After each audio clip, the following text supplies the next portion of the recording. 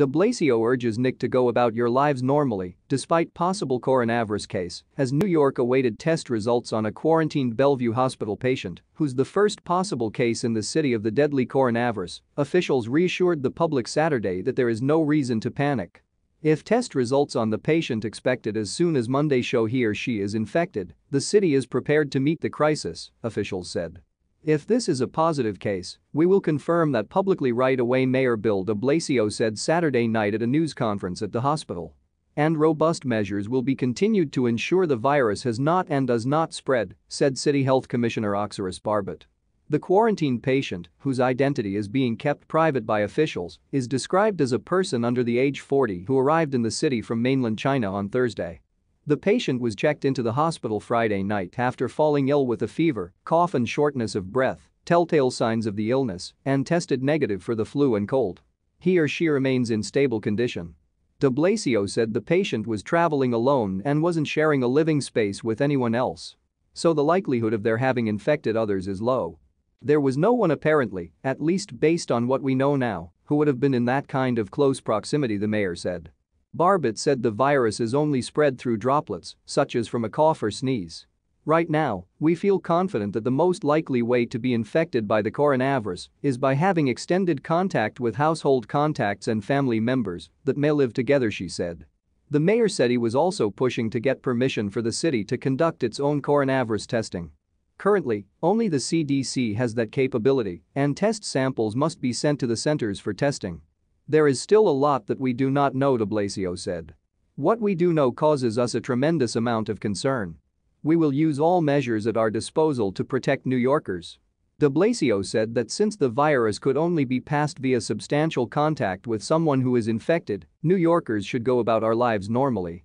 Just be smart the mayor said. Do the basics, like wash your hands. He stressed, though, that if someone is displaying symptoms and has travel connections to affected parts of China, they should see a medical professional immediately. This the 12th possible case in New York State. Tests have come back negative for eight of those cases, and three are still pending, Governor Andrew Cuomo's office said Saturday. The possible New York City case comes after the 8 U.S. case was identified in Massachusetts late Friday. Eritrea expresses dismay at new U.S. visa restrictions. The East African nation of Eritrea on Sunday expressed dismay at this unfriendly act after the Trump administration included it in the latest six countries to face U.S. visa restrictions. Eritrea's information ministry asserted the U.S. decision was made without justification to send a negative signal and runs counter to U.S. policy of constructive engagement. The Trump administration on Friday announced various visa restrictions on immigrants from Kyrgyzstan, Myanmar, Nigeria, Sudan and Tanzania as well. It is not a total travel ban, unlike President Donald Trump's earlier effort that generated outrage around the world for targeting Muslims. Some in Nigeria, Africa's most populous nation, have expressed outrage, while the government issued a brief statement saying it would study the U.S. requirements. The restrictions go into effect February 21 as Trump tries to promote his crackdown on immigration ahead of the U.S. presidential election in November. Eritrea, one of the world's most closed-off nations, is a significant source of migrants headed to Europe and elsewhere as thousands flee what they and human rights groups call a harsh system of forced national service. There has been no sign of that system easing since Eritrea made peace with neighboring Ethiopia in 2018, removing the major reason for the system's existence. The new Eritrea statement again criticized what it called automatic asylum measures by some countries for people who flee. Eritrea, Nigeria, Kyrgyzstan and Myanmar will have all immigrant visas suspended, those are applicants seeking to live in the US permanently. They include visas for people sponsored by family members or employers, as well as the diversity visa program that made up to 55,000 US visas available in the most recent lottery. Not affected are non-immigrant visas awarded to those traveling to the U.S. for a temporary stay. They include visas for tourists, those doing business or people seeking medical treatment. Acting Homeland Security Secretary Chad Wolf has said officials would work with the countries on bolstering their security requirements to help them work to get off the list. He said officials examined countries for compliance with minimum standards for identification and information sharing and assessed whether countries properly track terrorism or public safety risks. Lady Gaga. I better hear no lip syncing at halftime show Miami, AP, descending from the air, Lady Gaga kicked off a pre-Super Bowl concert by mimicking her entrance to her Super Bowl halftime performance three years ago, which earned her raved reviews. Headlining the big sports stage was a recurring theme of her Miami concert Saturday night, and the pop star sent a message to Sunday's featured performers. I better hear no lip-syncing tomorrow. Jennifer Lopez and Shakira will join forces to perform at Super Bowl 54 at the Hard Rock Stadium when the San Francisco 49ers will take on the Kansas City Chiefs. Gaga has denounced lip-syncing since the beginning of her career, which kicked off in 2008 with her multi-platinum album, The Fame. Moments after delivering the sharp comment as she sat by the piano, she told the audience. I love you Miami.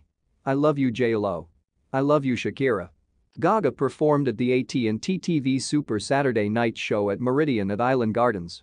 Toward the end of her show which closed with an epic performance of her Oscar and Grammy-winning smash Shallow, she said she hoped Lopez and Shakira shine on stage. I wish so much love and so much luck to everyone that's doing the halftime show, to both the teams that are playing each other in the Super Bowl she said. They're all champions. Teary-eyed, she thanked the audience for their support and for allowing her to perform at the halftime show in 2017. Thank you so much for believing in me. I remember when I played the halftime show and it was one of the most special, beautiful things that's ever happened to me. So, thank you said Gaga, who also wowed audiences at the 2016 Super Bowl when she sang the national anthem. And once again, all my love to everyone that's performing and playing tomorrow. I hope they all feel as lucky as I do right now. Gaga performed a two-hour set Saturday, changing three times during the performance, which she kicked off in a glittery bodysuit and flowy, blue hair. She ran through a number of hit songs, including Just Dance Poker Face Born This Way Bad Romance and Telephone. Feverish fans cheered loudly at the standing-only concert, and one of them even threw a letter onstage, which Gaga read out loud. In 2014 I fought for my life due to mental illness that stemmed from my own insecurities and life experiences. Without your radiant positivity and encouragement, I don't know if I would have had the strength to continue to fight to recover my life, back Gaga read from the letter.